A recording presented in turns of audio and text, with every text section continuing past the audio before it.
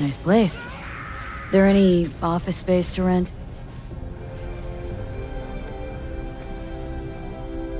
Oh, by whom?